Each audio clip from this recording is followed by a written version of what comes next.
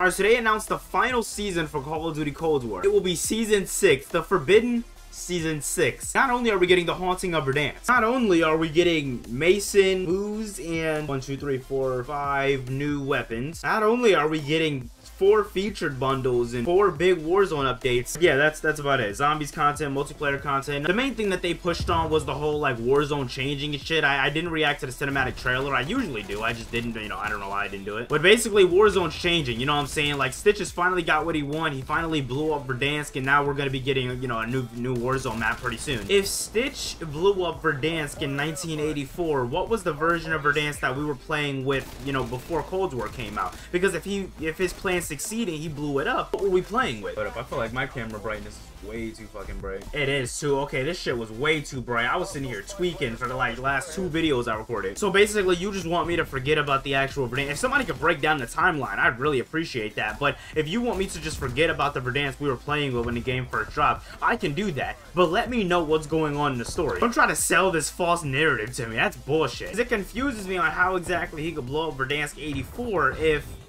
we were playing in a current day Verdansk. See, too, too, much is happening. It's either too much is happening or this whole year I just haven't been paying attention. I'm messing around with the PPSH a little more. I like it. Yo, I've been watching Titans, boys. Oh my fucking god, dude. I'm fucking in love with this show. I haven't been hooked on a show like this since fucking uh, Squid Game, and I just finished watching that like the day before yesterday or some shit. There's a lot of shows basically that I'm fucking just hooked onto and I'm loving it. Squid Game was fire. Fucking Titans is so good, dude. Which Titans been came out, but I'm just now like giving it a chance. Also, let me know in if this video my audio sounds a little better. I'm recording everything separate, which I usually never fucking do. But today I'm recording, I'm recording OBS for my webcam, Audacity for my, um, my fucking audio and then the gameplay I'm using Shadowplay. So my PC is probably fucking screaming at me right now. But it's worth it if the quality is gonna come out better. I've been trying to work on little things I can do for the videos to just make the videos better raw and quality. And if this is one step that I can take to make the videos better or it's just to make it, you know, look and sound better, then I'm definitely down to do it. But yeah, I'm just trying to level up as soon as possible before next week because next week we're gonna be double uploading. At least for one of the days because October 7th, uh, not only does Far Cry come out and that's when we start that series, but also at the same time, uh, that's when the new update comes out for Warzone for this, you know, season six and everything. So I'm fine with it. That's a lot of that's a lot of shit happening in one period of time. But we'll make it work. You know what I'm saying? I'm pretty sure the update's not gonna drop till like two in the morning. That's the time it usually drops.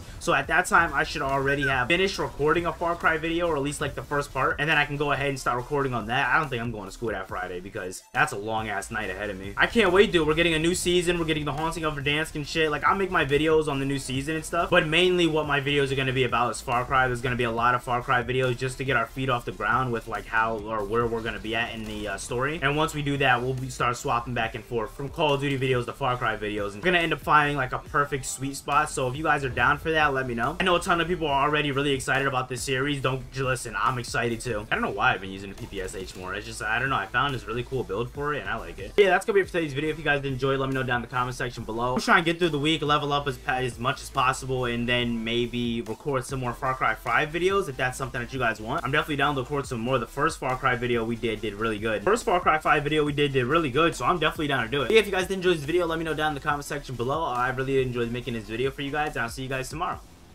Peace.